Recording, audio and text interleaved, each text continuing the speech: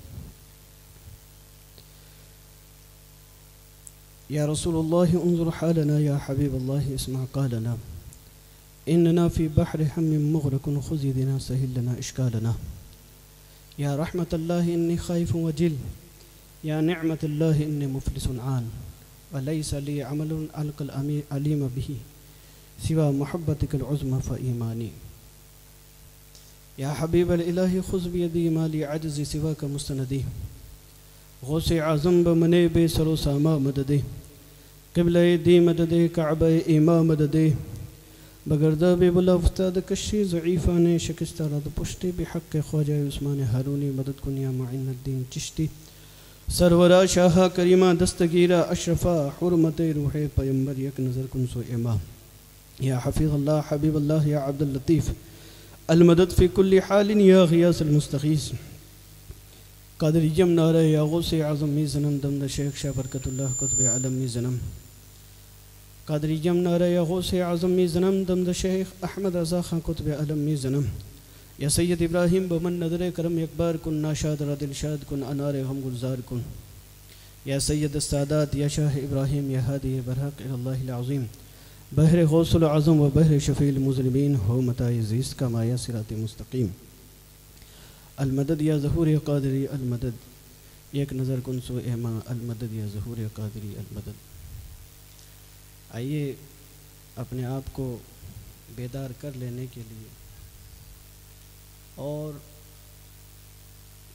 हौसल बरकत के लिए और जिन लोगों की ये ख्वाहिश है कि भाई हम मदीना जाएँ तो अपना नाम मदीने के आका के बारगा में पेश होने के लिए अपने आका पर इश्क मोहब्बत के साथ में हदे दरुद पाक पेश करते हैं। पढ़िए बाबाज बुलंद। अल्लाह सजदना व मौलाना महमदिन मादनजूद वलकरम मम्बाम वलम वलकम व आलि वबारक वसलम एक मरतबा और बाज़ बुलंद। वसलम वबारक अला सजदना व मौलाना महमदिन सैदिलम्बिया वलमरसलिन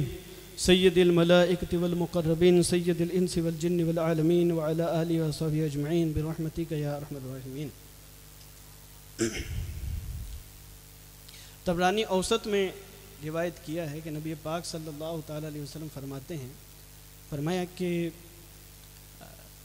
जब मेरा कोई उम्मती मुझ पर दरूद पाक पढ़ता है तो रब का एक फ़रिश्ता मुकर है जो मुझ पर पड़े हुए दरूद को अपने सोने के तश्त में लेता है और मेरी बारगाह में पेश करता है, या रसोल्ला आपके फ़लाँ शहर के, फ़लाँ मोहल्ले के, फ़लाँ गली में रहने वाले उस उम्मती ने, जिसका नाम यह है, जिसके वालिद का नाम यह है, उसने आप पर दुरुद पढ़ा है। तो भाई, कोई मैंने बात कही है तो कोई बात तो है। तो यहाँ पाली में बैठे हुए हैं, आधी रात में बैठे हुए हैं, रात का ज़िक्र अल्लाह को वैसे ही पसंद है। तो भाई, जी लगा करके दुरुद पाक पड़े ना कोई गाली देने का तो मैंने कहा नहीं आपको है ना? माजल्ला बावाज बुलंद पढ़े, अल्लाह वसली वसलम अला सैदना महमद इन तिबिल कलूब वदवाहा वाफ़ियत लबदानी वशिफ़ा वनूर लबसौरी वदिया वाला अली वसफ़ी वबारक वसलम अपना मैार औरों से जुदा रखते हैं।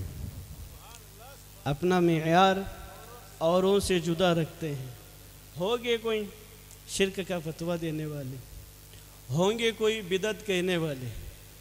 कहने वाले कहते रहें, अपना मेयार status level our our status भाई, आजकल स्टेटस का दौर है ना। तो look at my status if you feel better you will everything get my status अगर आप चाहते हैं कि भाई मेरा स्टेटस आपको अच्छा लगे तो आप भी ये स्टेटस अपना लीजिएगा। हाँ? अपना मेयार औरों से जुदा रखते हैं। ज़रा हटके, अपना लेवल ज़रा हटके। है अपना मेयार औरों से जुदा रखते हैं, हम तो महबूब भी महबूब खुदा रखते हैं। ऐसे वैसों से मोहब्बत करते भी नहीं हैं।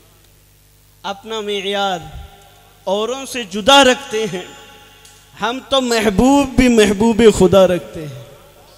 इसी एक बात में मैं अपनी बात मुकम्मल करूँगा। और चंद ऐसी चीज़ें आप तक बताने की, बयान करने की कोशिश करूँगा कि दुआ ये है कि अल्लाह तबारक ताली अहले सुन्नत वल जमात मसल के आला हज़रत पर हम, का पाबंद हमें बना दे। अपने अकीदे और अमाल की सलामती के साथ हम दुनिया से जाएँ। अल्लाह रब्बुल इज़्ज़त कुरान पाक में बयान फरमाता अला इन्ना औलिया अल्लाह मशहूर आयत करीमा। खबरदार हो जाओ, होशियार हो जाओ। ज़रा तवज्जो करो। ए, मेरा कलाम पढ़ने वाले, ज़रा ध्यान से सुनना।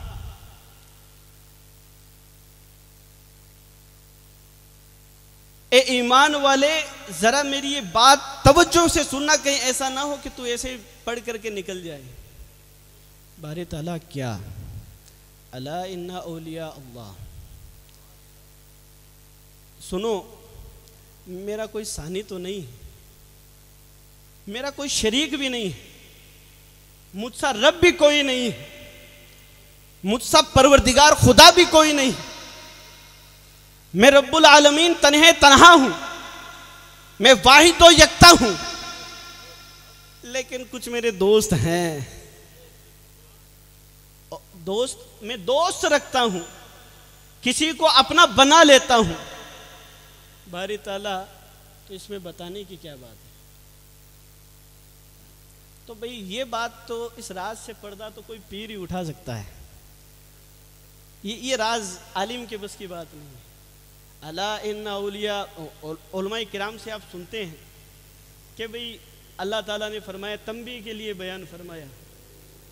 तंबी के लिए, लोगों को तवज्जो करने के लिए बयान फर, बिल्कुल ये, बिल्कुल बात सही है, कोई गलत नहीं है। ताकीद ज़िक्र की तो ताकीद के लिए बयान फरमाया कि ज़रा तवज्जो करना। कराम ने तो ये तो बयान कर दिया। लेकिन एक पीर का काम हकीकत तक पहुँचना होता है। तो किबला मज़हर जाने जाना रहमत जिनके नाम से तफसर मशहरी मशहूर है, उनके खलीफा ने उस तफसीर को लिखा है। तो उन्होंने कहा कि एक सवाल यहाँ कायम होता है कि अल्लाह ने ताकीद भी फरमाई और ख़बर दी है। कि अल्लाह के वलियों को कोई खौफ नहीं, कोई डर नहीं? यहाँ हमारा फ़ायदा क्या है? हमें क्यों इतनी तवज्जो दिलाई जा रही है? हमें क्यों इतनी तंबी के ज़रिए बताया जा रहा है? इसमें हमारा क्या? हमें मिला क्या? रब फरमाता है कि सुनो, या तो मेरे वली बन जाओ, वरना मेरे वली, मेरे, मेरा वली ना बन सको तो उनका बन जाना, जो मेरे वली हैं। या तो वली बन जाओ, वरना उनका बन जाएँ जो मेरे हैं। अल्लाह वालों के बन जाएँ। और यही अकीदे और ईमान की सलामती की यूँ समझ लीजिए दलील है, बड़ी दलील है। अला अल्लाह वली से मिलने का फ़ायदा क्या है? पहले तो एक दुनियावी मिसाल दे देता हूँ मैं आपको। भाई, कुर्बानी का मौसम आया, आपने चमड़ा बकरे का लिया और किसी एक चमड़े से चप्पल भी बनती है। उसी चमड़े से आपने काट करके एक कुरान पाक का जिल्द बना लिया। उसको कुरान पाक से लगा दिया। कुरान पाक का कवर आपने बना दिया। अब एक चप्पल बनी, एक कुरान पाक का कवर बना। चप्पल को चूमोगे तो पागल कहलाओगे। चप्पल कौन चूमता है? हाँ वो चप्पल अगर किसी महबूब खुदा की हो तो चूमना बरकत है। चूम लेना बरकत है। इनशाला बरकत पे भी मैं बात करूँगा। लोग इस बरकत हासिल करने पर भी शिरक के फतवे दे देते हैं। याद रखें, जिस तरह शहद में शिफा, ये शिफा रखने वाला परवरदिगार है, उसी तरह महबूब खुदा के कदमों में बरकत रखने वाला भी परवरदिगार है। बरकत हासिल करना अहले सुन्नत वल जमात का शेवा है।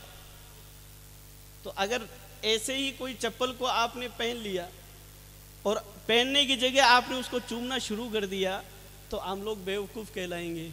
लेकिन अगर उस कुरान पाक से मिले हुए चमड़े को आपने चूम लिया, जितनी बार चूमोगे, खुदावत, खुदाबंद ताला की रहमतें उतनी बार आप पर बरसेंगी। मैंने पूछा भाई चमड़ा तो एक, बात तो एक ही है, फ़र्क क्या है? तो कहा, फ़र्क सिर्फ़ इतना है, मिला हुआ किससे है? ये किससे मिला हुआ है? एक को आम आदमी के पेट से निस्बत है, दूसरे को खुदा के कलाम से निस्बत है। दूसरे को खुदा के कलाम से ज़रा और दलील दलाइल के साथ में आपको करीब कर दूँ। चूमना, वहाँ चूम करके वहाँ से बरकतें हासिल करना। आप देखें सूर्य यूसुफ में हज़रत यूसुफ अलैहिस्सलाम के शहर से जब उनके भाई आए और उन्होंने कहा कि भाई वालिद साहब की बिनाई चली गई है। वालिद साहब की बिनाई ख़त्म हो गई है। तो हज़रत यूसुफ अलैहिस्सलाम ने किस्सा की तरफ़ नहीं जाते हैं। बातें थोड़ी ज़्यादा हैं तो मैं जल्दी जल्दी करके मुकम्मल कर देता हूँ, क्योंकि हमारे बशीर साहब तो कह रहे थे, साढ़े बारह बजे ख़त्म करना है, साढ़े बारह कब के बज चुके हैं? और हमारे असर साहब ने यह कहा कि भाई, स्टेज आपका, माइक आपका। मैंने इनको कहा भी था, मैं ये गलत आदमी उसे कह रहे हो आप। इसलिए कि हम इस खानवाजे से ताल्लुक़ रखते हैं कि जब बोलते हैं तो सामने वाले ही थकते हैं, हम लोग नहीं थकते। हमारा काम यही है। और अल्लाह का शुक्र मनाएँ कि ये अल्लाह का लाख लाख शुक्र है। अल्हम्दुलिल्लाह मैं इस पर फ़ख्र नहीं करता। मैं इस पर फ़ख्र नहीं करता। मेरे वालिद की पूरी ज़िंदगी अगर आपने सुजानगढ़ में भी काम किया है तो मसल के आला हज़रत के लिए काम किया है। और हम लोग आला हज़रत के मानने वाले हैं। और याद रखें कि आला हज़रत की बगावत अगर आपको कहीं मिले तो आप उनसे दूर रहिए। ये ये सही चीज़ नहीं है। आपके पीर मुर्शिद ने मसल के आला हज़रत की खिदमत की है, आप उसी के खादिम बन करके रहें। और सैदी सरकार आला हज़रत फरमाते हैं कि पीर होने के लिए तो वैसे चंद शराइ हैं। एक तो उसका सिलसिला मुनक़ ना हो, सिलसिला पूरा हो, बीच में कोई काट पीट ना हो। एक सैयद साहब का हमने एक सिलसिला देखा कलकत्ता में तो मैंने उनका, सैयद साहब भैया आप, किस सिलसिले से मुंसलिक हैं? तो उन्होंने कहा भी हम सादात में से, जी, मैंने कहा भी कहाँ सिलसिला मिलता है? तो कहा हज़रत यहिया मुनीरी रहमत अच्छा। तो असल में सरकार यहिया मुनीरी रहमत तसव्वुफ़ की दुनिया में बहुत बड़ा नाम है। और इनका जो ऊपर का जो सिलसिला है तकरीबन वो अपने सिलसिले से जुड़ा हुआ है। सरकार निज़ामुद्दीन औलिया रहमत का जो सिलसिला ऊपर का जो सिलसिला है शेख अहमद शेख अहमद के बाद सरकार निज़ामुद्दीन औलिया के वालिद आ जाते हैं उधर हमारे आबा अजदाद आ जाते हैं। तो यूँ मिला हुआ है। और अलहमदिल्ला मेरी आदत भी नहीं है कि यूँ हवा में तीर छोड़ दिया ठीक है ना? हवा में तीर नहीं, बाकायदा अलहमदिल्ला इसकी हमने तहकीक की है।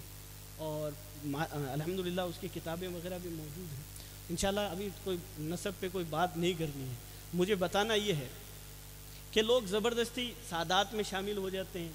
या तो कि सादात की दीवार को हाथ लगा लिया तो सैयद बन जाता सैयद होना, वो रब की, यूँ समझ लिए इनायतें होती हैं। रब जिस पर फजल कर दे, उसे नस्बत मुस्तफ़ा अता करता है। वो नस्बत मुस्तफ़ा, मेरे वालिद मोहतरम हमेशा कहते थे कि बेटा कोई हाथ चूमे ना तो ये मत सोचना कि वो तुम्हें चूम रहा है, बल्कि वो नस्बत मुस्तफ़ा का अदब कर रहा है।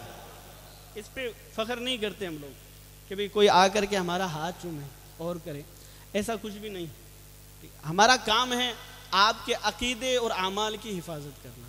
आपको सही बात बताएँ कि सही अकीदा क्या है? नौजवानों से मैं गुजारिश करूँगा, उठ खड़े हो। कब तक तुम गफलत के बिस्तर में सोए रहोगे? आज ईमानियात पर हमारा हमला, घरों पे हमले, अमाल पर हमारे हमले होते हैं। हम कब तक यूँ गफलत की नींद सोए रहेंगे? कम से कम मेरी कौम का नौजवान उठ करके बता तो दे कि भाई, ये हदीस मुबारक है, हमारे अमल का सबूत है। कम से कम वो नौजवान खड़ा होकर कह तो दे कि भाई हम ईमान रखते हैं कि ओलिया अल्लाह को अल्लाह तबारक ताला ने इख्तियार अता फरमाए, ये उसकी दलील है। नौजवानों को शूर ही नहीं। कोई समझना नहीं चाहता, कोई सुनना नहीं चाहता है। कोई बात पते की ना समझने की ज़रूरत समझता है नतीजतन एक किसी जाहिल आदमी की आप ओ यूट्यूब पर वीडियो देखते हो, बह करके अपना ईमान सारा खत्म कर लेते हो। तो ओलमा से अपने आप को करीब रखें। अपने आप को। सैयद आला हज़रत फरमाते हैं कि भी पीर होने के लिए दूसरी जो शर्त है ना, वो एक आलिम होना है। हवा में उड़ने वाला नहीं चाहिए अपने को। ठीक है ना? हाँ क्या भाई पीर साहब हवा में उड़ रहे थे। हवा में उड़ने वाला पीर साहब मत देखिएगा कभी भी। और आजकल तो बाकायदा यूँ समझ लीजिए कि लोगों ने ग्रुप बनाए हुए हैं कि पीरों की करामातें जैसे तैसे ज़ाहिर करें।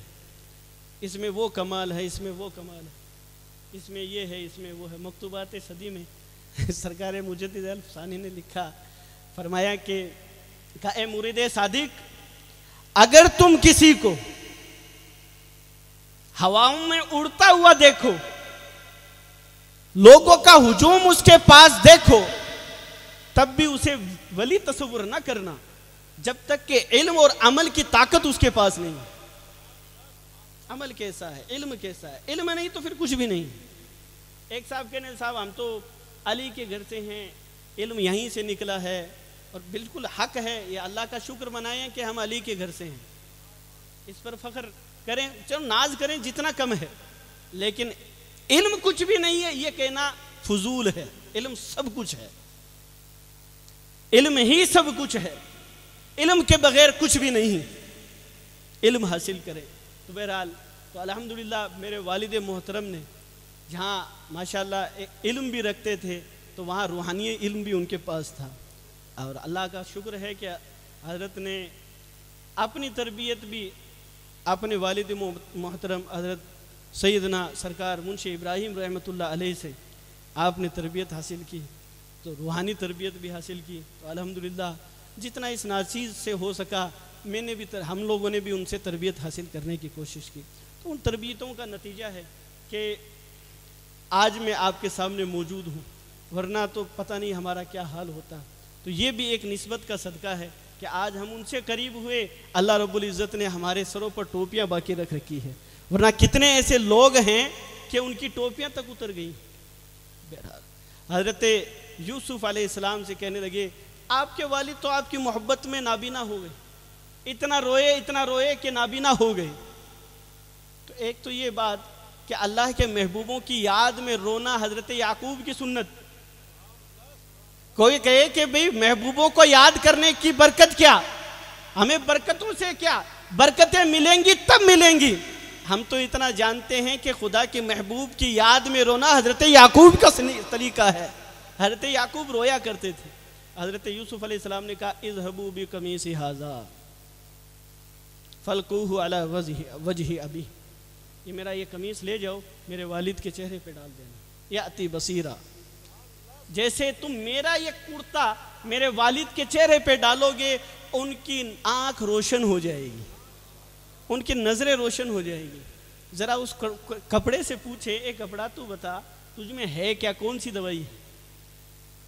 कोई केमिकल, कोई साल्ट है। कौन सा साल्ट डाला हुआ है तुझे या किस दवा से, किस जड़ी बूटी से तुझे तैयार किया गया है? कपड़ा की कपड़ा भी कहेगा, मैं तो वही धागे वाला कपड़ा हूँ। मैं तो वैसा ही हूँ। तो ये कपड़े तुझ में ये कमाल कैसे? कि तुझे अगर आँखों पे डाल दिया जाए, खुदा रोशनी लौटा दे तो कपड़ा ये कहेगा, मुझे ना पूछ। मैं जिससे लगा हुआ था उससे पूछ। मुझे निस्बत है खुदा के महबूब के बदन से।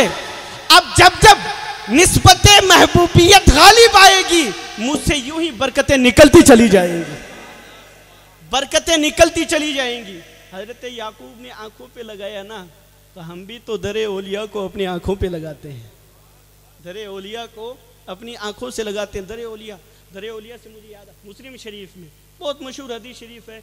लंबा वाक्य मैं वाक्य नहीं करूँगा, जैसे बोलूँगा आपको शायद कि याद आ जाएगा, वो निन्यानवे कत्ल वाला, जिसने एक बनी इसराइल का शख्स था जिसने निन्यानवे कत्ल किए थे, फिर उसको एहसास हुआ कि मैंने ये गलत किया। उसने जा कर के किसी डिग्री वाले आलिम से पूछ लिया।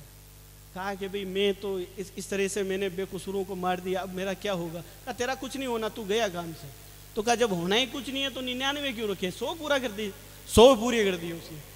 अरे, इसलिए ओलमा को बड़ा एहतियात से रखना चाहिए। हाथों हाथ, जबान नहीं चलानी चाहिए। कभी मसाइल सामने आ जाएँ तो बिल्कुल आप तरबियत इफ्ता में कभी भी आप पढ़ेंगे तो लिखेंगे कि भाई आलिम दीन को बड़ी सूझबूझ से काम लेना चाहिए। हाथों हाथ जवाब देना ये कमाल नहीं है। सही बात बता देना ये कमाल है। हाथों हाथ नहीं। हमारे जहन में क्या शैतान क्या डालता है? अगर तूने हाथों हाथ इसको बता दिया ना खड़े खड़े गेट के पास, ये तुझे बड़ा आलिम समझेगा। अरे कोई समझे ना समझे। खुदा के रसूल अगर तुम्हें अपना खादिम समझ लेना वो बहुत है हमारे लिए। कौन आलिम बनने के चक्कर में बहरहाल तो उसने सो फिर एहसास हुआ फिर वो कि, किसी गया एक आलिम रब्बानी के पास गया। आलिम भी थे सूफी भी थे पीर साहब भी थे उनके पास गए। कहा कि हज़रत मुझसे ये गलती हो गई। तो उन्होंने क्या कहा? कहा कि सुनो फला जगह एक नेको का नेकों की बस्ती है वहाँ चले जाओ। वहाँ चले गए। कहा वहाँ जा के क्या करना है? कहा वहाँ जा के उनकी सोहबत इख्तियार करो। उनकी सोबत में रहोगे, खुदा उनकी सोबत की बरकत से तुझे माफ़ कर देगा। कहा कि ठीक है, बहुत अच्छी बात है, मैं निकलता हूँ कहने के लिए। वो चले। रस्ते में ही उनका इंतकाल हो गया। तीन सनद के साथ में अल्लामा नबी ने रियाजुस सालिहीन में इस हदीस शरीफ को बयान फरमाया। तीन सनद अलग अलग सनद। तीन हदीसें, समझ लीजिए। मैं इल्मी बस तो मुनासिब भी नहीं है, आपके ज़्यादा, जहन पे बोझ होगा। तो बहरहाल तीन तरीके से हज़रत इमाम नबी रहमत ने इस हदीस शरीफ को बयान किया कि वो उसका इंतकाल, उसके रूह जब निकली, रूह जब निकली तो वो सीने के बल गिरा। सीने के बल गिरा, इंतकाल हो गया, रहमत के फरिश्ते आए, उधर आज़ाब के फरिश्ते आए। रहमत के फरिश्तों ने कहा कि भाई इसे हम ले करके जाएँगे, इसलिए कि यह तोबा के इरादे से निकला था। और जब इसने तोबा का इरादा कर लिया, इसकी तोबा हो गई। अजाब वाले फरिश्ते ने क्या इरादा किया था ना? की तो नहीं थी, जबान से भी नहीं की इसने। दोनों में बातें होने लग गई, दोनों फरिश्तों में। रहमत वाले अजाब अजाब वाले फरिश्ते ने। इमाम नबी फरमाते हैं, अल्लाह ताला ने एक और फरिश्ता भेजा इंसानी शक्ल में। उन्होंने उनके, उनको बहस करते हुए देखा तो कहा, भाई, किस बात पे झगड़ रहे हो? तो उन्होंने माजरा बताया कि ये गुनाहगार था गुना इसने किया था, अब ये इंतकाल कर गया। रहमत वालों ने कहा कि ये नेकों की बस्ती के करीब तोबा की नीयत से जा रहा था। हम कहते हैं कि भाई नीयत सही थी, इसलिए इसकी तोबा कबूल। और अजाब वाले फरिश्ते कहते हैं कि भाई इसने नीयत की नहीं नीयत की थी, लेकिन तोबा नहीं की। इसलिए हम इसको लेकर के जाएँगे, इसने ज़बान से तो कुछ भी नहीं कहा। तो अब उन्होंने फैसला किया। अब पहले इस बात को सुनने से पहले मैं आपसे एक इंसाफ की गुहार लगाता हूँ। मुझे इंसाफ से बताएँ। माफ़ करने का हक किसको है? रब को ना। भाई गुना कौन माफ़ करता है? रब ही माफ़ करता है ना। अल्लाह ही तो माफ़ करता है। अब परवरदिगार, अगर माफ़ करना ही था तो तू तो मालिक है। कह देते, झगड़ा करने की ज़रूरत नहीं है, रहमत वाले फरिश्ते, तुम इसको लेकर के जाओ। मेरा फैसला है। किसी फरिश्ते ये मजाल रब के हुक्म के खिलाफ कर दे। मेरे मोला, बख्शने का हक तुझे। सब कुछ तुझे। तू हमारा मालिक, हमारा खालिक। ये सारा माजरा मंजर दिखा करके क्या बताना चाहता है? रब तबारक ने कहा, पूरा सुन। अल्लाह अकबर। उस फरिश्ते ने फैसला कहा, मैं फैसला करूँगा, मानोगे? कहा मान लेंगे? तो कहा कि सुनो, एक तरफ़ बुरे लोगों की बस्ती है और एक तरफ़ नेक लोगों की बस्ती है। ज़मीन नाप ली जाए अगर ये बुरे लोगों की बस्ती के करीब है तो इसे आजाब वाले लेकर के जाएँ। और अगर नेकों की बस्ती के करीब है तो रहमत वाले फरिश्ते लेकर के जाएँ। अल्लामा नबी दूसरी अदी शरीफ में बयान फरमाते हैं कि रब ने ज़मीन को हुक्म दिया। ए ज़मीन तू नेक लोगों की ज़मीन की तरफ़ से सिमट जा। रब ने हुक्म दिया, मेरे मोला बख्शना तो तू चाहता ही है, बख्श ही देता। रब को दिखाना था, बख्शा क्यों है? रब ये बताना चाहता है कि मैंने इसको क्यों बख्शा है? खुदा की रहमत इसे किस तरह लेकर के आएगी? लोग जो इल्ज़ाम लगाते हैं कि तुम्हारे वलियों से कुछ नहीं होता, ये ओलिया के मजारात पर जाकर के तुम्हें क्या मिलता है?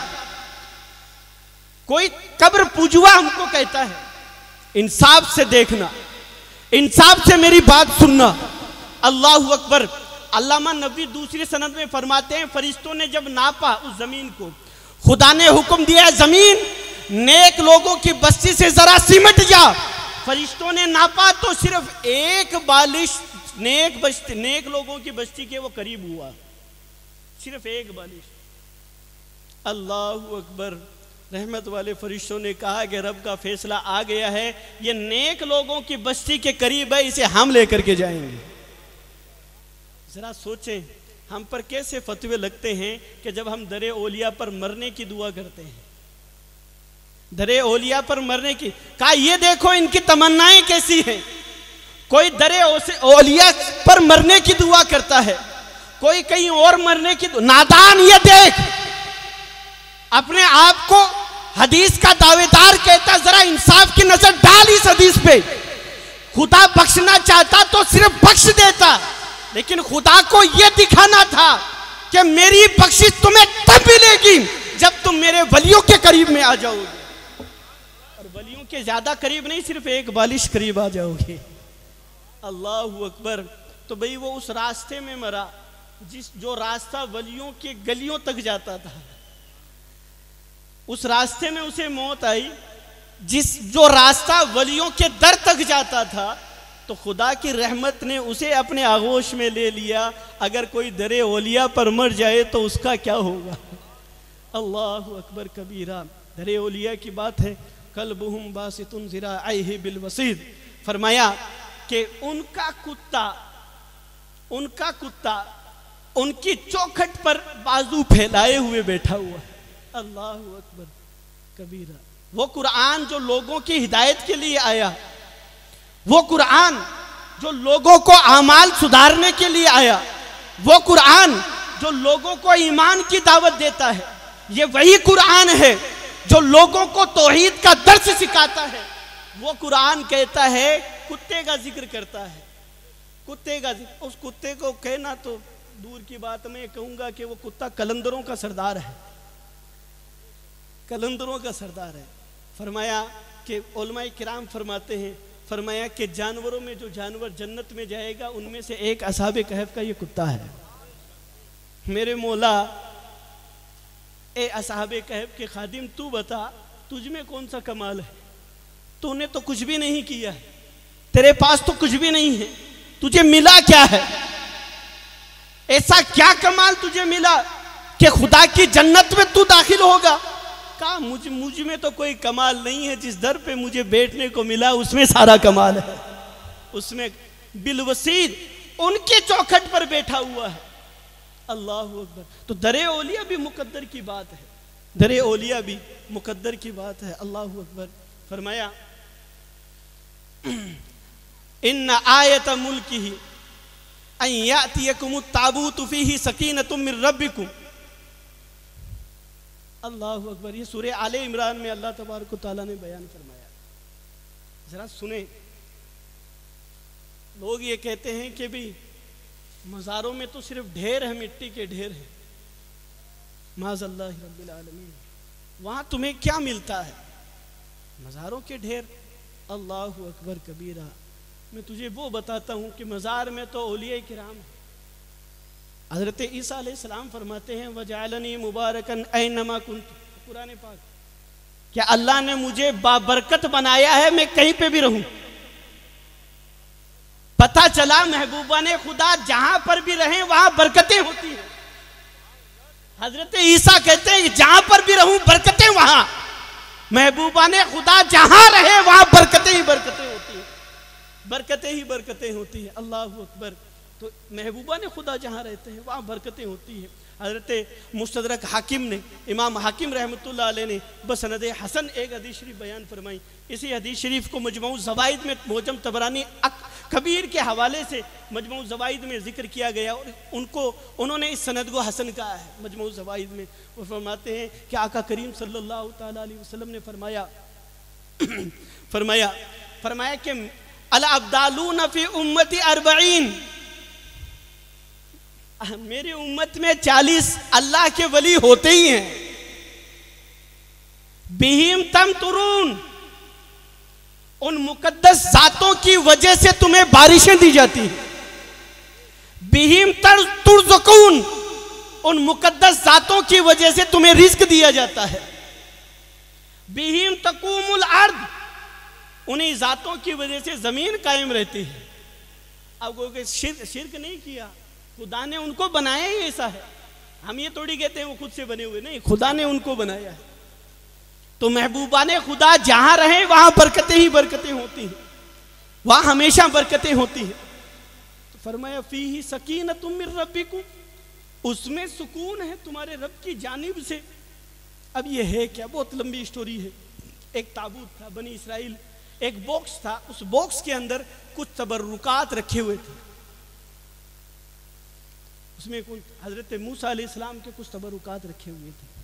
हज़रत हारून इस्लाम के थे। अलग अलग रिवायात है बहरहाल उसमें अम्बिया कराम के तबरुकात रखे हुए थे। मदारी को तंजील वगैरह में आया है। अब उसमें था क्या? रिवायत में आया कि उसमें अम्बिया कराम की तस्वीर भी थी और लिबास भी था। हज़रत मूसा इस्लाम का, हज़रत मूसा इस्लाम का असा भी था और दिगर अम्बिया कराम की नालेन शरीफ भी थी। और दिगर अम्बिया कराम के दूसरे जो तबरुकात थे। अब कुरान ये कहता है, फ़ी ही सकीन तुम मिर रबिकुम बॉक्स है, बॉक्स के अंदर तुम्हारे रब की जानब से सुकून ही सुकून है। अल्लाह अब ये बॉक्स का कमाल क्या था? बॉक्स का कमाल क्या था? बॉक्स का कमाल ये था कि बनी इसराइल जब अपने मध्य मुकाबिल से जंग करने के लिए जाते थे, वो ताबूत सामने रखते थे। और वो अल्लाह की बारगाह में दुआ करते थे, अल्लाह तबारक ताला इन मुतबरक चीज़ों के सदक़े में हमें फतह अता फरमा। और बल्कि मदारिक तंजील में तो एक जगह और बयान फरमाया कि जब और ज़्यादा शिद्दत होती थी तो वो दुआ करते थे अल्लाह लना बेहक के मोहम्मद मुस्तफ़ा सल्लल्लाहु अलैहि वसल्लम। ए मेरे मौला, हमें हुजूर नबी आखिर जमा के सदक़े में फतह अता फरमा। फतह अता फरमा बहरहाल फ़ी सकीन तुम रबिकुम दिलों का सुकून है, तुम्हारा चैनो करार है, अल्लाह अकबर, किसमें चैनो करार?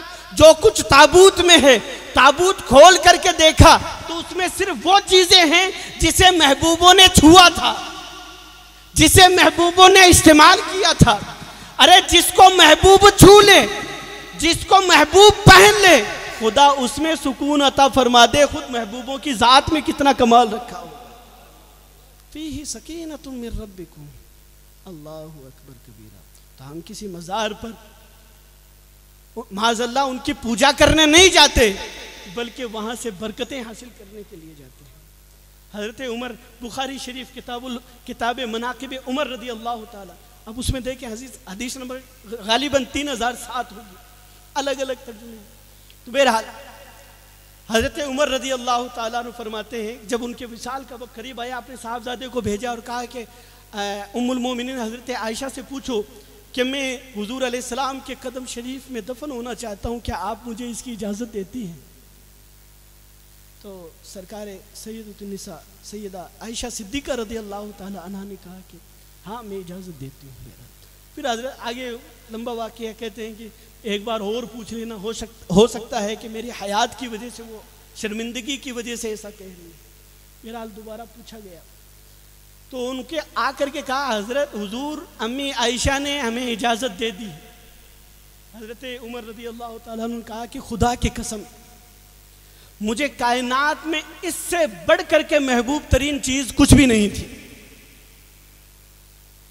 मुझे ये बताओ हज़रत उमर का ये पसंद करना कि मुझे सबसे ज़्यादा महबूब तरीन चीज़ यही थी कि मुस्तफ़ा के कदमों में दफना दिया जाए। ये शिरक है। माजल्ला क्या खलीफा खलीफा, खलीफतुल मोमिनीन हमें शिरक सिखाएँगे। अलैकुम सुन्नति व सुन्नतल राशिदीन ए लोगो, तुम मेरी सुन्नत को अपनाना और मेरे खुलफाए राशिदीन की सुन्नत को अपनाना। फतुल बारी में अल्लामा हजर अस्कलानी फरमाते हैं, इस बात से सबूत मिलता है कि अलिया किराम के मज़ारात से बरकत हासिल करना बिल्कुल जायज़ है। हज़रत उमर ने ये जो फैसला लिया, ये हुजूर इस्लाम के मज़ार अकदस से फैज़ हासिल करने के लिए लिया और वहाँ चूँकि हज़रत अबू बकर सिद्दीक की भी कब्र थी, मज़ार अकदस था तो वहाँ से। लोग हमसे सबूत पूछते हैं कि भाई कब्रों के पास जाना तुम कभी साहबा गए थे? वहाँ उनसे मांगा था। मुसन्फ इब्ने अभी शेबा। रिवायत है। इसी हदीस शरीफ को अलविदाया व निहाया में इब्ने कसीर इब्ने कसीर कौन है? सऊदी अरब में सबसे माने जाने आलिम दीन है। सऊदिया में सबसे ज़्यादा इसी आलिम को फॉलो किया जाता है।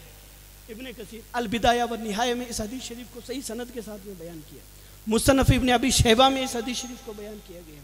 और अल्लामा इबन कसीर ने, तफसीर इबन कसीर तफसीरुल कुरान में इस हदीस शरीफ को बयान किया, कहा, हज़रत बिलाल हारिस, बिलाल बिन हारिस अल मुजनी रदी अल्लाह साहबी रसूल, फरमाते हैं, कहत का ज़माना था, और इतना ज़्यादा कहत पड़ा, कहत कहते हैं काल को, काल पड़ जाता है, बारिशें नहीं हुई का इतना सख्त हो गया कि लोग मुर्दार खाने लग गए। वो नबी पाक सल्लल्लाहु अलैहि वसल्लम के बारगाह में हाजिर होते हैं। हजूर सलाम विशाल फरमा चुके हैं। मज़ार नबी पाक सल्लल्लाहु अलैहि वसल्लम पर हाजिर होते हैं और रावी कहते हैं, फ़काला, ओ हज़रत बिलाल बिन हारिस मुजनी ने नबी पाक सल्लल्लाहु अलैहि वसल्लम के मज़ार अकदस पर हाजिर होकर के क्या कहा? फ़काला, या रसूल लोग कहते हैं कि भाई, अब हुजूर को नहीं पुकार सकते। अरे या रसूलुल्लाह, कहना साहबा की सुन्नत है। मजारे अकदस पर आकर के कहा, या रसूलुल्लाह, कद हलकत उम्मतु का अब कमा काल फिल हदीस, या रसूलुल्लाह, आपकी उम्मत हलाक हो रही है। आका जानवर मर रहे हैं। आपकी उम्मत हलाक, तबाह, बर्बाद होती है। कदिश तयकज या रसूलुल्लाह, अपने रब से बारिश तलब कीजिए। हजूर की बारगाह में आकर के कहते हैं, या रसूलुल्लाह, अपनी उम्मत के लिए बारिश मांगिए। आपकी उम्मत हलाक होती जाती है। अल्लाह अकबर साहबी कहते हैं कि मेरी आँख लगी, मुझे ख्वाब में नबी पाक सल्लल्लाहु अलैहि वसल्लम का दीदार हो गया। और कहा कि, बिलाल, फ़िक्र ना कर अनकरीब तुम्हारा रब तुम्हें बारिशें अता फरमाएगा। पहली बात तो ये कि हज़रत बिलाल बिन हारिस मज़ार अकदस पर हाजिर हुए। वहाँ हाजिर होकर के या रसूलुल्लाह कहते हैं मतलब ये कि सहाबी का ये अकीदा था कि मैं यहाँ से पुकारूँगा, मेरे आका वहाँ से सुन ही लेंगे। वहाँ से सुन लेंगे। ये सहाबी का अकीदा था, अर्ज़ की दूसरे, दूसरा अकीदा ये कि वो जानते थे कि किसी की दुआ रद्द हो सकती है, लेकिन मेरे नबी की दुआ कभी रद्द नहीं कर सकता है। रब तबारक ताला कभी रद्द नहीं करेगा। और तीसरी तीसरी बात ये कि कहीं कोई फरियाद सुनने वाला सुने ना सुने, लेकिन अगर मैं दर मुस्तफ़ा पर आकर के अपनी फरियाद करूँगा, मुस्तफ़ा ज़रूर सुन लेंगे। अल्लाह अकबर अल्लाह अकबर। हज़रत बिलाल बिन हारिस मुजनी कहते हैं कि मुझे ये ख्वाब आया, आका ने फरमाया अनकरीब तुम्हें बारिशें दी जाएँगी, बारिशें तुम्हें दी जाएँगी। तुम्हें तुम्हें बारिशें हज़रत बिलाल, हारिस बिन बिलाल बिलाल बिन हारिस फरमाते हैं कि उस साल इतनी बारिश हुई, इतनी बारिश हुई कि उस साल का नाम है आमुद समन यानी मोटापे का साल रख दिया गया। मोटापे का साल रख दिया गया। अल्लाह अकबर। हमसे पूछते हो कि साहबा कभी मज़ार पे हासिल हुए कि नहीं? हम ये मानते हैं कि मज़ार में वहाँ अल्लाह तबारक ताला ने बरकतें रखी है और बरकतें रखने वाला रब है। पंद्रहवें पारे में बारक ना हाउलहू कुरान फरमाता है। फरमाया कि हमने बैतुल मुकद्दस के इर्द गिर्द बारक ना हाउलहू हमने बैतुल मुकद्दस के इर्द गिर्द बरकतें रखी है। ओलमाई किराम ने फरमाया बरकतें रखी है से मुराद क्या? वो तो मस्जिद अक्सा है ना पहले से मस्जिद अक्सा तो पहले से है। मस्जिद में तो वैसे ही बरकतें होती हैं। मेरे मौला, ये हाउ लहू बारक ना हाउ लहू इससे मुराद क्या है? ओलमा किराम ने फरमाया, इसलिए कि उसके इर्द गिर्द अम्बिया किराम के मज़ारात हैं। और उन मज़ारात में अल्लाह ने बरकतें रखी हैं।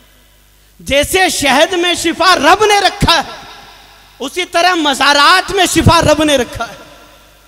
मज़ारात में भी बरकतें रब ने रखी हम उनको खुदा नहीं समझते समझते। अभी थोड़े दिन पहले एक वाहबी हाफिज था उसने मुझे नमाज़ जनाजा का तरीका भेजा। कभी नमाज़ और, जैसे गैर मुकलद हजरात ना वो ये कहते हैं कि नमाज़ जनाजा में ये जो दुआ हम पढ़ते हैं ना वो नहीं है। बल्कि उसमें सूरत पढ़ी जाती है सुर फातिहा और कहीं कहीं कुलिया का फिर उनका ज़िक्र है वगैरह। तो वो बता रहा था कि भाई तुम्हारा मौलवी क्या नाम था वो यूट्यूब पे? वो मुफ्ती साहब आते हैं। मुफ्ती अकमल साहब।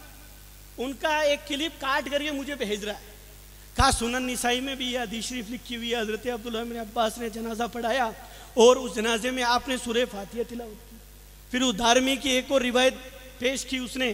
और पेश करते हुए कहा कि देखो, इसमें भी ये लिखा हुआ है, तुम्हारा मुफ्ती ये कह रहा है कि हज़रत ने शायद सुर काफिर या कोई और सूरत जनाजे में तिलावत की। तो मैंने कहा, इससे क्या बहस करनी? मैंने उसका जवाब दिया। मैंने कहा, अल्लाह का शुक्र है, कम से कम तेरी इस हदीस से यह भी तो साबित हो गया कि मूर्ति के सामने हाथ बाँध करके कुरान पढ़ना शिरक नहीं है। बल्कि कुरान पढ़ना यह साहबा की सुन्नत है। तो अगर हमने हाथ बाँध करके मजारत ओलिया पर सुरे फातिया पर डाली या सुरे काफिरून पर डाली तो यह खुद हज़रत अपने अब्बास के फतवे से और उनकी सुन्नत से साबित है। तो आज तक तो उसका वापस रिप्लाई नहीं आएगा और मुझे यकीन आएगा भी नहीं। ठीक है।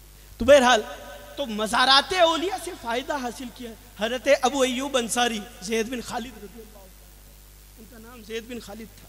हज़रत अबू अयूब अंसारी रज़ी अल्लाह मुसदरक हाकिम ने इस हदीस शरीफ को बयान किया और कहा कि यह हदीस शरीफ बुखारी और मुस्लिम शरीफ की शर्त पर सही है। कहते हैं कि हज़रत अबू अयूब अंसारी, ये वही मुकदस साहबी हैं जिनके घर में हजूर आसमाम ने मदीना जब पहली मरतबा तशरीफ़ लाई, इनके घर में आपने क़याम फरमाया था।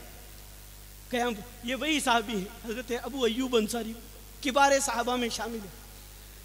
मरवान हजूर आसमाम के मज़ार अकदस पे आया। उसने देखा है कि एक शख्स हजूर आसलाम के मज़ार अकदस पर गाल रखे हुए हैं। उसने पीछे से गर्दन पकड़ी और कहा कि, अतदरी मा क्या तू जानता है कि तू क्या कर रहा है? तो उसने जब गर्दन पकड़ी तो हज़रत अबू अयूब अंसारी रज़ी अल्लाह तुमने पीछे घूम करके देखा। तो उनका रोब था, उनका रोब था, वो डर गया, उसने हाथ छोड़ा। और पीछे हज़रत अबू अयूब अंसारी ने जलाल में फरमाया, नाम, मुझे मत सिखा। मैं जानता हूँ मैं क्या कर रहा हूँ। जे तू रसूलुल्लाह, वला आतिबी हजर। मैं रसूलुल्लाह के पास आया हूँ, किसी पत्थर के पास नहीं आया हूँ। हज़रत अबू अयूब अंसारी ने अकीदा दे दिया कि जब भी जाओ किसी मज़ार पर तो मज़ार की नीयत से नहीं, मज़ार वाले की नीयत से जाया करो। हम भी दरे गरीब नवाज़ पर जाते हैं तो किसी पत्थर के पास नहीं बल्कि गरीब नवाज़ के पास जाते हैं। हम भी दरे गौसुल वरा पे जाते हैं। किसी पत्थर के पास नहीं बल्कि गौसुल वरा के पास जाते हैं। हम भी दरे हफीजुल्लाह पर जाते हैं। किसी पत्थर के पास नहीं बल्कि हफीजुल्लाह के पास जाते हैं। हम भी दरे मुंशी इब्राहिम पर जाते हैं। किसी पत्थर के पास नहीं बल्कि मुंशी इब्राहिम के पास जाते हैं। बेशक सुभान अल्लाह नारे तकबीर नारे रिसालत। उठ से मुंशी मोहम्मद इब्राहिम साहब, पीरो मुर्शिद पीरो मुर्शिद, नारे तकबीर नारे तकबीर। शेर आलाम नुबला में मुझे इन्हीं की बात याद आ गई इमाम जैबी बहुत लोग मानते हैं इनको। आपको सबूत भी देंगे, जब आप हदीस शरीफ बयान करेंगे ना, कि ये हदीस शरीफ ज़यीफ है, किसने कहा कहा इमाम जैबी ने कहा। उन्हीं की बात मैं बता देता हूँ। शेर आलाम नुबला में आप यही खालिद बिन अयूब खालिद हज़रत जैद बिन खालिद, अबू अयूब अंसारी रदी अल्लाह इनका आप तर्जुमा उठा करके देखिए, जिल्द नंबर पाँच है।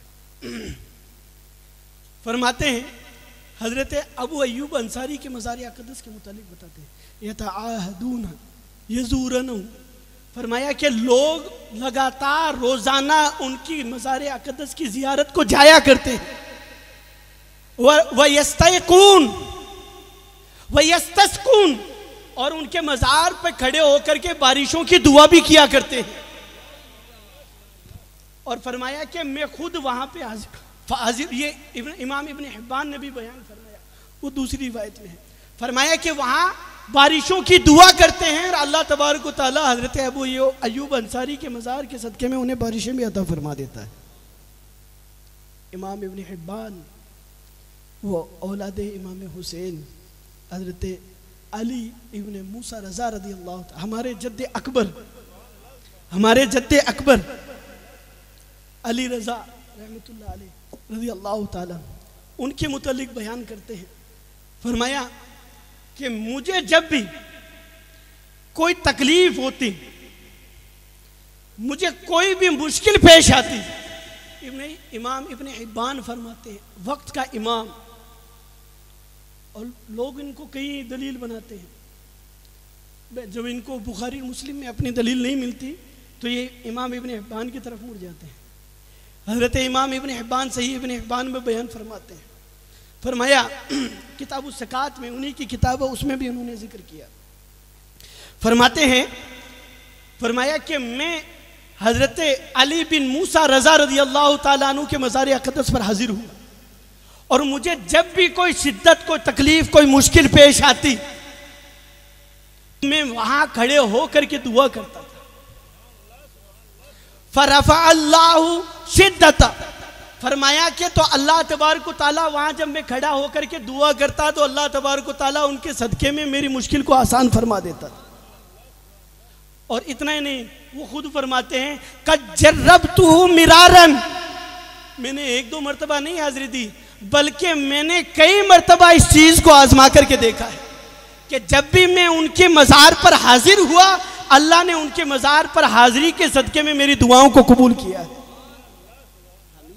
वहाँ पूजा के लिए नहीं जाते, वहाँ बरकत के हसूल के लिए जाते हैं, बरकत हासिल करने के लिए जाते हैं, अपना बनाने के लिए जाते हैं। सईदा आयशा सिद्दीक़ा रदी अल्लाह ताला फरमाती हैं, फरमाया सिफत सफ़ा में इमाम जोजी अलैह ने इसको बयान फरमाया इमाम जोजी ने इसको बयान फरमाया, और इतना ही नहीं, अल फतावा अल मजमू, ये इब्ने तेमिया के मजमू अल फतावा भी कहते हैं कभी फतावा अल मजमू के नाम से भी मशहूर है। इब्ने तेमिया के फतावा जात, उसमें हज़रत अब्दुल्ला इब्ने अब्बास के हवाले से भी इसने लिखा है, और अम्मा आयशा सिद्दीक़ा रदी अल्लाह तहा के भी हवाले से इसने लिखा है, और हज़रत अब्दुल्ला इब्ने अब्बास की हदीस को इन्होंने सही भी करार दिया है।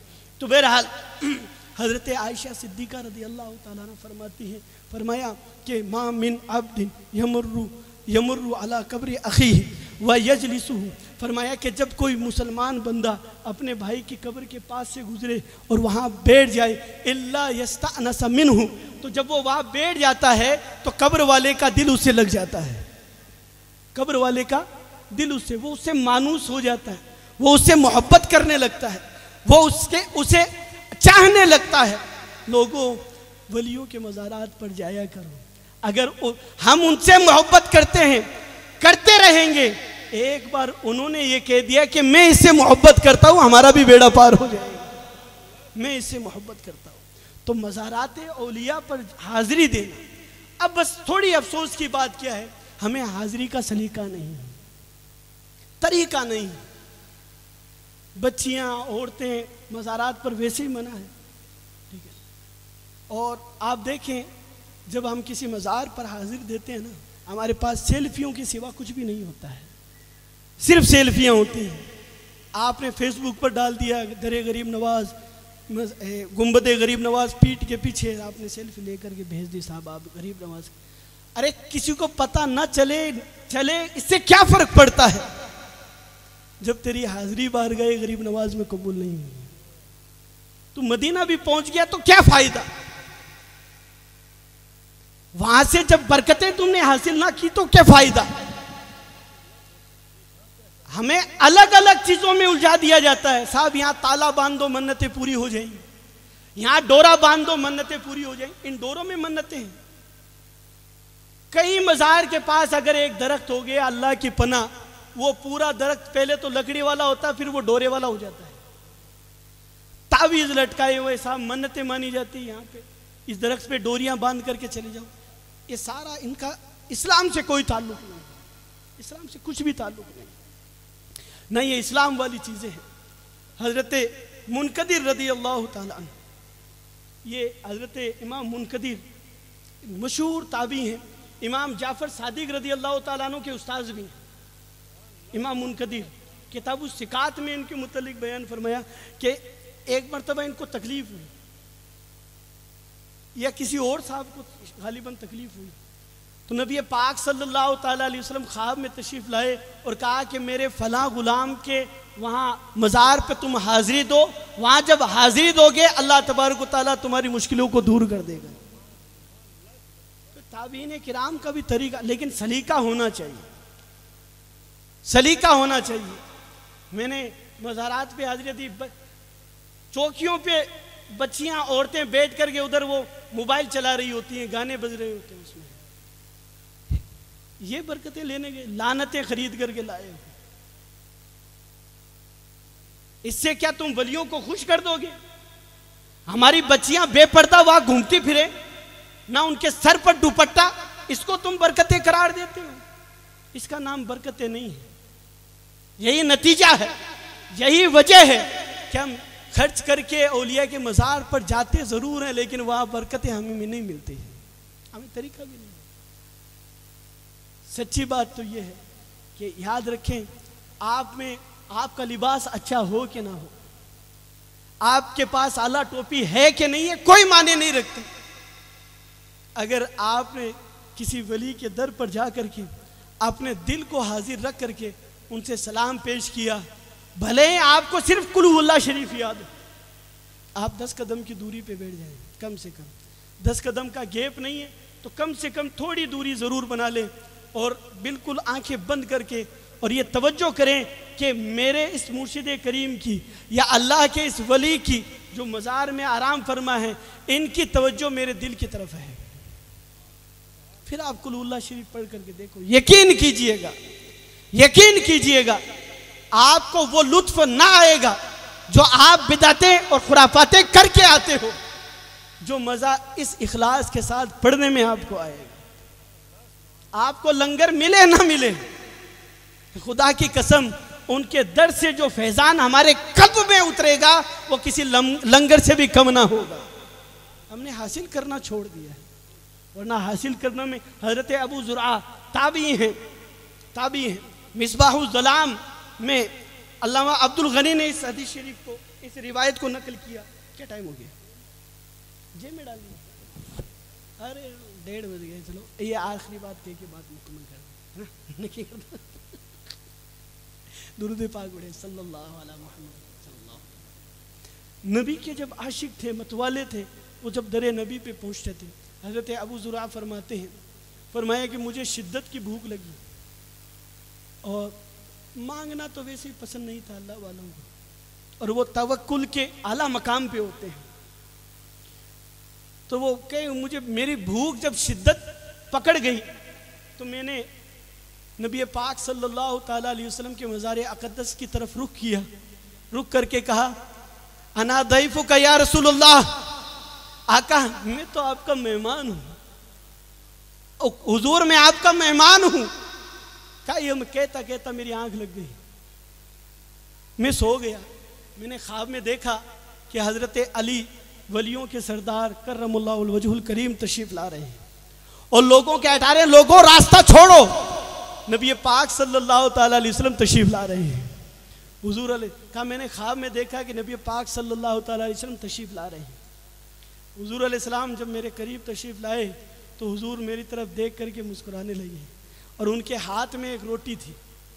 अल्लाह अकबर। उनके हाथ में एक रोटी थी। कहा कि मेरी तरफ़ मुस्कुरा करके कहा, भूख लग रही है। मैंने अर्ज़ की हाय रसूलुल्लाह, मुझे भूख लग रही है। नबी पाक सल्लल्लाहु अलैहि वसल्लम ने वो रोटी मुझे दे दी। कहा, रोटी जैसे मुझे मिली, मैंने खाना शुरू कर दिया खाब में। खाब में मैंने आधी रोटी खाई और आधी रोटी खाने के बाद मेरी आँख खुली तो आधी रोटी तो मैंने खाब में खा ली थी। आधी रोटी मेरे हाथ में पहले से मौजूद थी। लोगों को फ़ेज़ लेना आना चाहिए। हम ना कदरे लोग हैं। खाली यहाँ से गए खाली आ गए। जब तक आप में अमली ताकत नहीं है, रूहानी फैज आप कबूल, आपका दिल कबूल नहीं कर सकता है तक मेरे ख्याल से कोई फ़ायदा नहीं। सिर्फ़ सेल्फियों की आप सेल्फी लें ना लें उससे कोई फ़ायदा नहीं है अगर एक वली के दर पर आप जा कर के उसका फैज़ ना ले सके।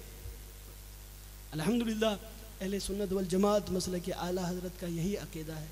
हम ओलिया अल्लाह को ओलिया अल्लाह को खुदा नहीं मानते हैं, बल्कि खुदा के दोस्त मानते हैं। हम ये मानते हैं कि अल्लाह रब्बुल इज़्ज़त ने अपने वलियों के मज़ारों के पास में बरकतें रखी है। वहाँ जितने भी दुआएँ कबूल होती हैं जितने भी लोगों की मन्नतें कबूल होती हैं, जितने भी लोगों की मुश्किलात हल होती हैं, उन सब का हकीकी टालने वाला रब परवरदिगार है और उन ओलिया के मज़ारात की बरकत से अल्लाह तबारक ताली उनकी मुश्किलों को टाल देता है। और यही कुरान में बयान फरमाया, हुना लिका दा जकरिया रब बहू हज़रत जक्रिया ने जब रब की नेमतें देखी, उस हुजरे में, हज़रत मरियम जहाँ रहती थी, उस हुजरे में देखा कि बे बे मौसम के फल रखे हुए हैं। तो कहा, ये कहाँ से आए? कहा, ये रब के अतियात हैं। रब तबार को ताला ने मुझे अता फरमाया, कुरान कहता है हुना अली का दआ जकरिया रब बहू किराम ने फरमाया, यहाँ से ये मसला साबित हो गया कि जहाँ पर रब की रहमतें देखो, वहाँ दुआ करना अम्बिया कराम की सुन्नत है। अम्बिया किराम का तरीका है, क्योंकि अम्बिया कराम का तरीका शरीयत बनता है। तो वहाँ रब की रहमतों का नजूल हज़रत जकरिया ने देखा वहाँ खड़े होकर के उन्होंने दुआ की, मैं आपसे फिर अर्ज़ करता हूँ, ये इबादत खाने, ये खान कहें अपनी किस्मत पर नाज करो, आपके पास पहले से मौजूद है। लेकिन मेरे, मैं साफ़ गो हूँ, मैं बोलना जानता हूँ, मुझे किसी की कोई गुलामी करने की या चापलूसी करने की ज़रूरत नहीं है। याद रखें, ये हाफिज़ हफीज़ुल्ला वलीउल्ला जो शाह कादरियत के नाम से मशहूर हैं उनकी इबादत खान यहाँ से इबादत खाना यहाँ मौजूद है और आपने उसे बर्तन रखने की जगह बना रखा है। कोई शिकवा शिकायत नहीं करता। लेकिन जहाँ ओलिया कराम इबादत करते ना, वहाँ रब की रहमतों के नजूल की जगह होती है। रब की रहमतें नाजिल होती है वहाँ पर। यकीन बुखारी शरीफ में रिवायत है। हज़रत अब्दुल्ला फरमाते हैं, फरमाया कि मैं नबी पाक सल्लल्लाहु अलैहि वसल्लम के साथ सफ़र किया करता था और जहाँ जहाँ हजूर सलाम नमाज़ अदा किया करते थे, वहाँ निशान लगा लिया करता था कि यहाँ मेरे मुस्तफ़ा ने नमाज़ अदा की है और जब मैं सफ़र करता, उसी जगह नमाज़ अदा करता जहाँ मुस्तफ़ा ने नमाज़ अदा की।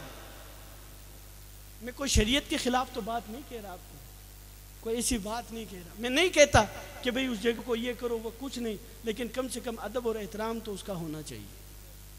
ये ये भी नहीं है कि मेरे दादा की जगह नहीं। वो एक कलंदर और कादरियत से फैज फे, फैज याफ्ता फैज याफ्ता बारगाह गौसियत है। तो वहाँ से अगर उनके ज़िक्र करने की इबादत की जगह कि हमने अगर अदब कर लिया उम्मीद करता हूँ इनशाला इनशाला उम्मीद करता हूँ। और मैं गुलाम कादरी दुआ भी करता हूँ कि इन तबारक ताला अगर आपने उस जगह का अदब किया, अल्लाह रब्बुल इज़्ज़त ज़रूर आपको बरकतों से नवाजेगा। पूरी कौम को बरकतों से ऐसे करें, सियासत में ना पड़े। हमें ओलिया की बारगाह से बरकत लेनी है, सियासतियात सियासियात नहीं करनी है।